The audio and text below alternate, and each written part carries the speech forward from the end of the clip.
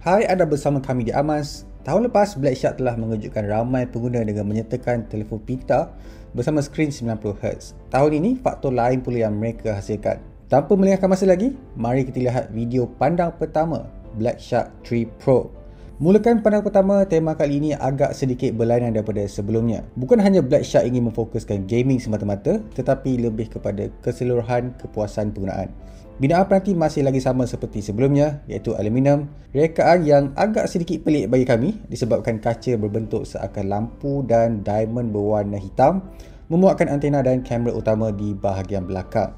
Namun rasa di tangan masih lagi solid dan selesa sesuai untuk dipanggil peranti untuk memfokuskan pemuat. Masih terdapat lampu RGB pada logo Black Shark di belakang peranti yang boleh dikawal menerusi aplikasi khas untuknya. Mereka yang gemar setkan warna yang disukai akan menarik minat anda dan tidak perlu risau dengan bateri yang kini semakin besar. Port sambungan, peranti ini masih lagi mengekalkan biji audio di bahagian atas untuk digunakan bersama phone telinga berwayar. Di bahagian kanan, butang kuasa dan switch untuk aktifkan mode gaming ataupun masuk ke dalam Shark Space. Bawah adalah sambungan USB-C untuk tujuan pengecasan. Anda mungkin tertanya-tanya mengenai keratan di bahagian kanan bukan?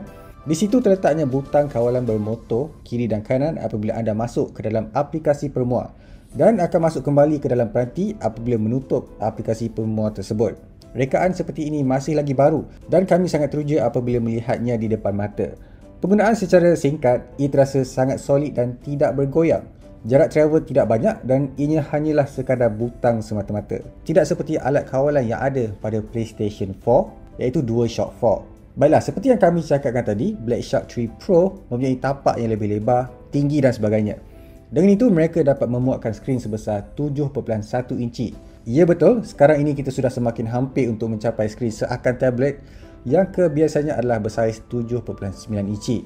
Mengekalkan jenis skrin AMOLED pada resolusi Quad HD Plus dan kadar segas semula 90Hz. Mungkin antara anda sudah pun menyoal masih ini sesuaikah skrin 90Hz untuk parti gaming. Untuk itu, nantikan ulasan kami di masa akan datang.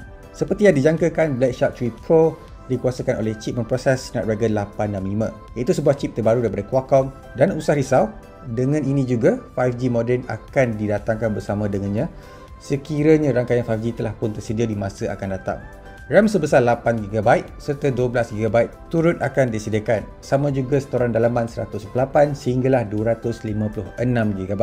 Sistem operasi yang digunakan pakai adalah setakat ini Joy UI yang berasaskan Android 10. Namun kami harus katakan bahawa versi yang berada di tangan kami ini adalah untuk pasaran China. Versi global mungkin akan berlainan sedikit dan akan menggunakan Google Assistant sebagai pembantu maya. Black Shark 3 Pro tidak ketinggalan menyertakan 3 kamera di bahagian belakang dengan menyertakan sensor 64MP sebagai kamera utama, 13MP merupakan lensa ultra lebar dan 5MP adalah untuk tujuan mengukur kedalaman gambar ataupun bokeh efek.